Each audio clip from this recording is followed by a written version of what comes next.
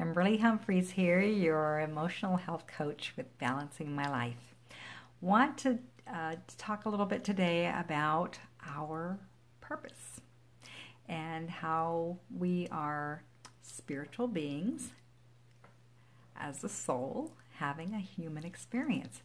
And the purpose for the human experience has everything to do with growing and growing in love. And guess what? Everything that happens, I have, a habit of saying that everything that happens happens exactly the way it's supposed to, every little detail for the good of everyone involved. And the reason that we have these experiences, every single one, is to grow us, to give us an opportunity to grow in love.